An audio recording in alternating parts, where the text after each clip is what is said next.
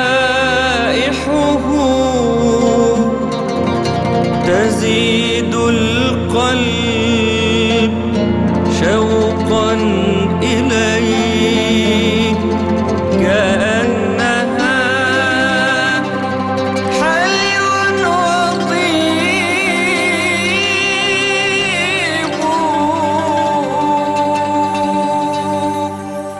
الحمد لله رب العالمين لك الحمد يا ربنا حمدا كثيرا طيبا مباركا فيه كما ينبغي لجلال وجهك ولعظيم سلطانك وأشهد أن لا إله إلا الله وحده لا شريك له وأشهد أن محمدا عبده ورسوله وصفيه من خلقه وحبيبه. أهلا ومرحبا بحضراتكم في برنامج صل على الحبيب وشعارنا هو صل على الحبيب قلبك يطيب. النهارده معانا شخصية تزن أمة مع المتصف بالصديق الملقب بالعتيق مع الذي صاحب النبي في الحضر والأسفار. وهو ضجيعه في الروضة المحفوفة بالأنوار. وقال الله فيه ثاني اثنين إذ هما في الغار مع أبي بكر الصديق وكرم أبي بكر وإنفاق أبي بكر وجود أبي بكر.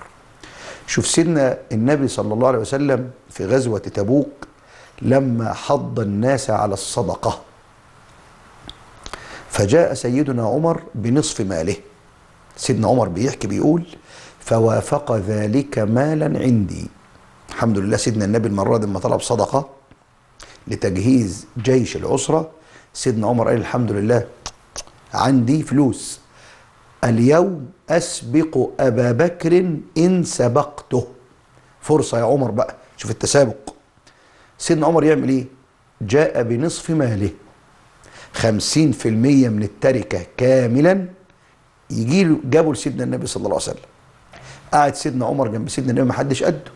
جا دي نص ماله. فسيدنا النبي سأله قال له يا عمر ماذا أبقيت لأولادك؟ فسيدنا عمر قال له جئت بنصف مالي لله وأبقيت النصف الآخر لأولادي.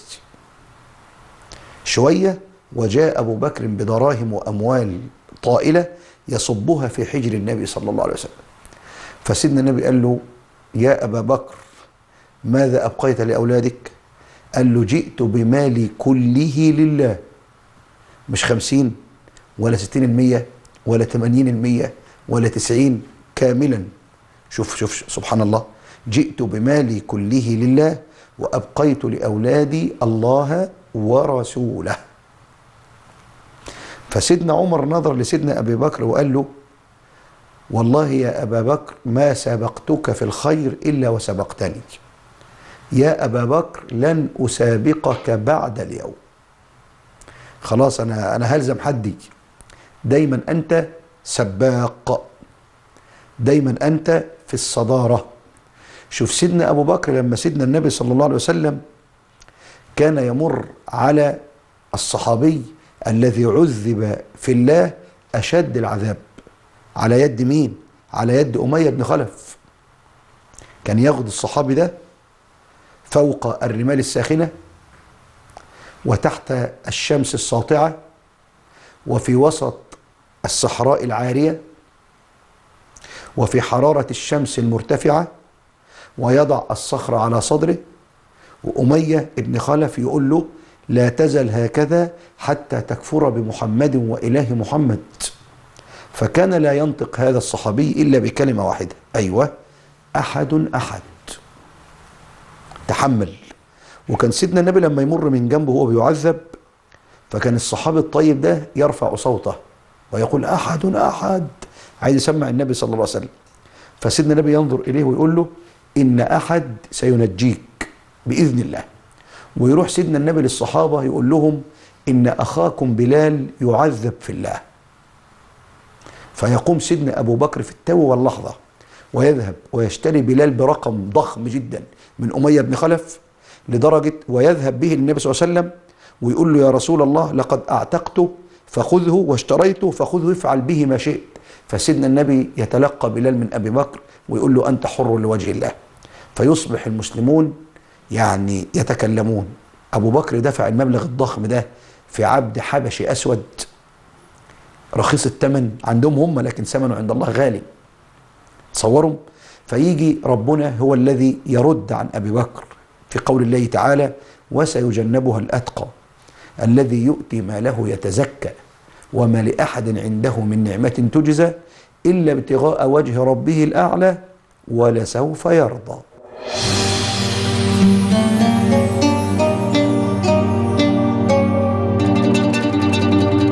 صل على الحبيب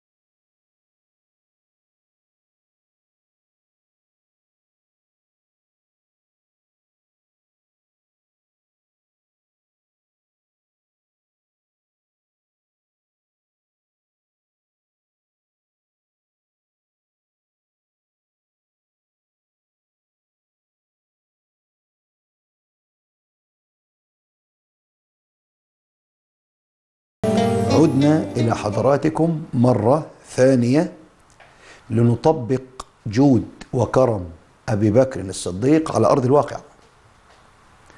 أولئك الذين هداهم الله فبهداه مقتده. فسيدنا أبو بكر كان ينفق في الله بلا حساب. ومن أفضل أنواع الإنفاق حفر الآبار زي التقرير اللي إحنا شفناه من شوية. حاجة جميلة. إحياء لأراضي ليس فيها ماء. وسيدنا النبي صلى الله عليه وسلم يقول ليس صدقة أعظم أجرا من ماء. يعني لو جينا نرتب ثواب الصدقات في الأعمال الخيرية الأفضل فالأفضل هتلاقي رقم واحد. ياخد امتياز مرتبة الشرف سقي الماء. سقي الماء لإنسان أو لحيوان أو لنبات. فالماء شريان الحياة. وذلك شوف ستنا هاجر عليه السلام لما تركها الخليل إبراهيم هي ووليدها إسماعيل الصغير طفل صغير في الصحراء بين الجبال. وبعدين قالت له يا إبراهيم الله أمرك بهذا؟ شوف قيمة المية اهي. قال لها نعم. قالت له اذهب عنا فإن الذي أمرك لن يضيعنا. طيب يا رب يعني هاجر هي وابنها هيعيشوا إزاي؟ يا ترى ربنا أول ما أرسل إليهم أرسل إليهم طعام؟ لا. أرسل إليهم مال؟ برضه لا. الله. أمال أرسل إليهم إيه؟ ماء. فستنا هاجر بدأت تأخذ بالأسباب بين الصفا والمروة اللي هو بقى المسعى النهارده. ويأتي العلي القدير سبحانه وتعالى وهناك لا حياة. حتى سيدنا إبراهيم يقول له إيه؟ ربنا إني أسكنت من ذريتي بواد غير ذي زرع. طالما غير ذي زرع يبقى غير ذي ماء. وطالما بغير ذي ماء يبقى لا حياة لا بشر. الله قوام الحياة هو الماء. فربنا سبحانه وتعالى يرزقهم بأساس الحياة وهو ينبع لها عين زمزم من تحت قدم الطفل إسماعيل عليه السلام وهو صغير. وبعدين مكة كلها تقوم على هذه العين. ويجي سيدنا النبي صلى الله عليه وسلم يقول رحم الله أم إسماعيل. لو لم تقل لزمزم زمي زمي وده سبب تسميتها زمزم. زمي يعني إيه؟ آه تجمعي تجمعي لأن كانت بتفور. فسيدنا النبي يقول رحم الله أم إسماعيل لو لم تقل لزمزم زمي زمي لكانت زمزم عينا معينا. كانت بقت نهر كانت بقت بحر. الشاهد إيه؟ أن الله أول ما رزق السيدة هاجر وولدها إسماعيل رزقهم بالماء. ليه؟ لأن الماء أساس الحياة. وبدأت القبائل العربية كانت تتتبع الطيور. لأن في في الصحراء ما كانش فيه بقى لا أبار ولا ماء. شوفوا يا جماعة قيمة المية. شوفوا قيمة حفر بير مية. فكانوا العرب في في الصحراء في الجزيرة العربية ينظرون إلى الطير بينزل فين ويعشش فين ويروح فين؟ فبدأوا يتتبعوا الطير لقوه بينزل في المنطقة دي. فمشوا ورا الطير فوجدوا هناك عين ماء وامراه ومعها ولد. فجلس الناس من حولها تجمعوا حولها وبدأت تبقى مكة المكرمة حتى يومنا هذا. بسبب إيه؟ الماء. سبحان الله. بسبب إيه؟ زمزم. ويجي سيدنا النبي يقول زمزم شفاء سقم وطعام طعم. فنحن في هذه الأيام المباركة الطيبة الفاضلة محتاجين نسقي الناس شوية مية نظيفة. محتاجين نخلي الست تطبخ لأولادها وأسرتها طبيخ بشوية مية يعني تصلح للاستعمال الآدمي. محتاجين نحفر آبار في المناطق النائية. عايزين ندخل الفرحة على الناس وعايزين ندخل البهجة على الناس زي ما حضراتكم شفتوا في التقرير كده. طبعا الآبار تحتاج إلى مبالغ ضخمة وطائلة. فمحتاجين قطعة أرض محتاجين عدد وآلات محتاجين شركة تقوم بالحفر محتاجين شركة للتركيب محتاجين صيانة. خدوا بالكم ما ننساش الصيانة صيانة دورية. فالموضوع مكلف جدا.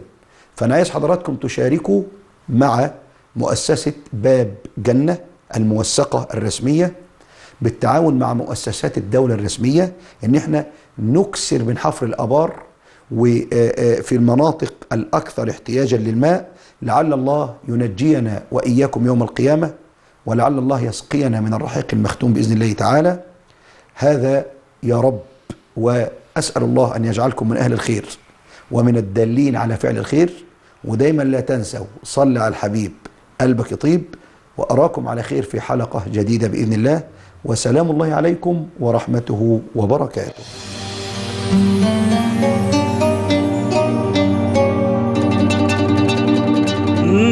نبي كان